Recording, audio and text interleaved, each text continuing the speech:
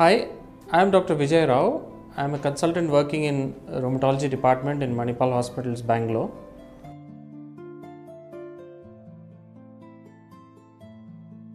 Rheumatoid arthritis is nothing but pain, swelling, stiffness affecting the small joints of the body, mainly the hands and feet, three times more commonly affected in women, and seen more commonly in 40 to 60 year age group. Uh, predominantly, it affects joints but can affect other organs as well.